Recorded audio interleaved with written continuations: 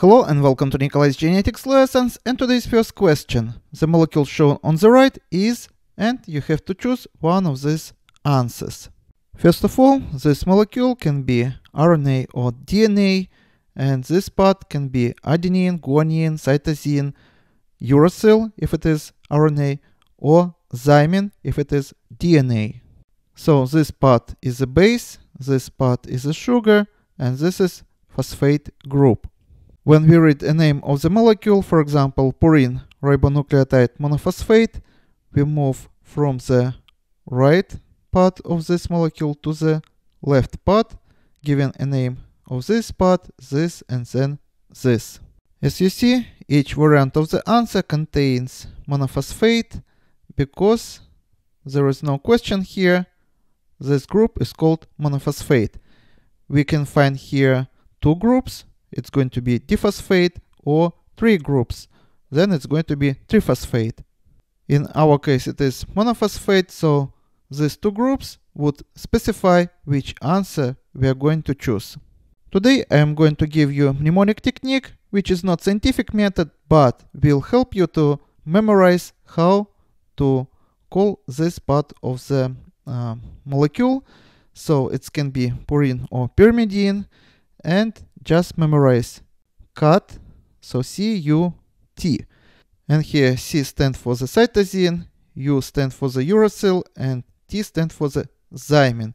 And uracil and thymine is basically the same molecule, but in RNA we find uracil and DNA thymine. So all these three letters stand for the uh, short version of the base, which consists of one ring. So the base can be of the two kinds. It can consist of two rings or one ring. And this short version is cytosine, uracil, and thymine. And this large version is going to be, take a look, cytosine base pair with guanine and thymine base pairs with adenine. And uracil also in messenger RNA also base pair with adenine.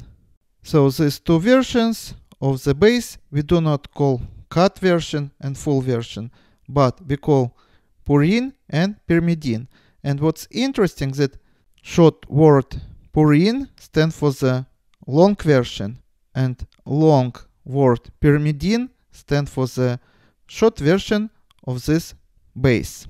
One more time, these three bases are pyrimidines and these two are purines. They are larger version and short word purine stand for them. And this is pyrimidine and here the three bases which represent short version of the base. We call them pyrimidine. Now as you see the name of this molecule have to start with the word purine and we can cross out half of the answers. Now let's move to the second part of the name and to the second part of this molecule.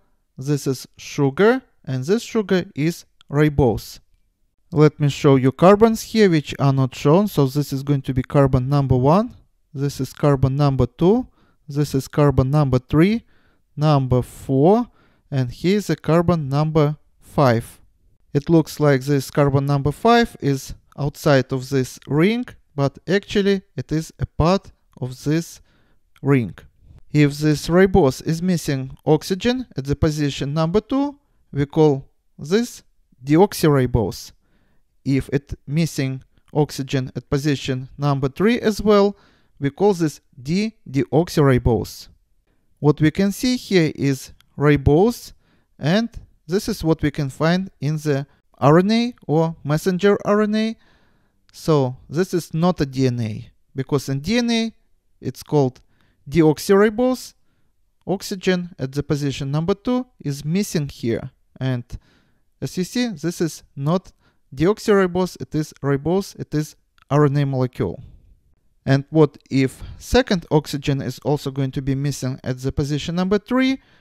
Is it going to be ribose, deoxyribose? Actually, this is going to be um, part of the molecule of the DNA, but we use such base when we do sequencing because if oxygen is missing here And as you know, messenger RNA or DNA grows from 3' end to 5' end, then building of the uh, DNA or RNA strand is going to stop here.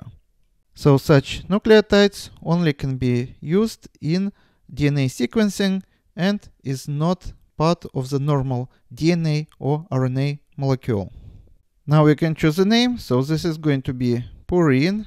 This is going to be ribose and monophosphate here. So purine, ribonucleotide, monophosphate. Answer A. All the rest are going to be wrong variants. Now, second question. If a piece of double-stranded DNA has guanine content of 26%, what proportion of thymine you expect? In order to solve this problem, everything you have to know is just Chargaff's rule, which states that in double-stranded DNA, we have uh, cytosine and at base pair with guanine and adenine base pair with thymine. Now it is very easy to solve this problem, just like 1, 2, 3.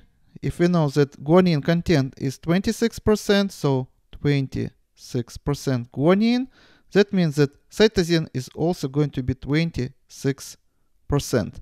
And the rest, and this is going to be 26 plus 26 is going to be 52, and 100 minus 52 is going to be 48%. So let me put it here these two bases uh, make 52% of the double-stranded DNA.